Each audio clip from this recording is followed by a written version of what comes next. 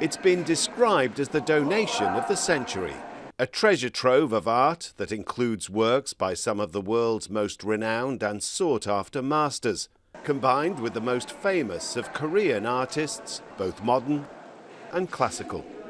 In addition, a vast wealth of artifacts, charting Korea's cultural heritage, spanning hundreds of years of dynastic rule.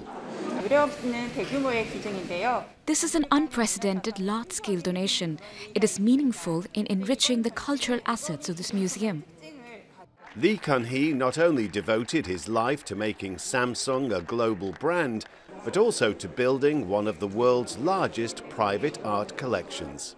Following his death last October, it was announced his family would pay a record inheritance tax bill of $10 billion.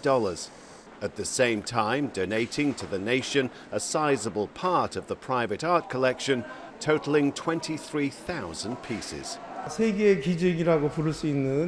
Lee Kun-hee's collection can be called a miracle of the world. It will invigorate our donation culture, rewrite the history of modern and contemporary Korean art, and enrich us all. A committee set up to choose a permanent home for the collection has decided upon a specially built museum in Seoul, rejecting attempts by provinces across South Korea to be chosen.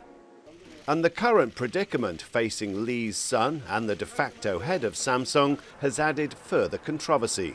J.Y. Lee is currently serving a two and a half year prison sentence in a long running, high profile bribery case. There's been widespread speculation the donation of this art could be part of a behind the scenes deal to get him released.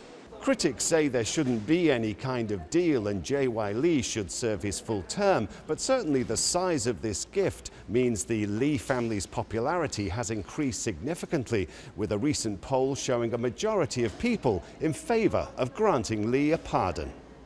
Whatever the immediate impact of this donation, the artistic riches on offer are certain to thrill appreciative art lovers for generations to come.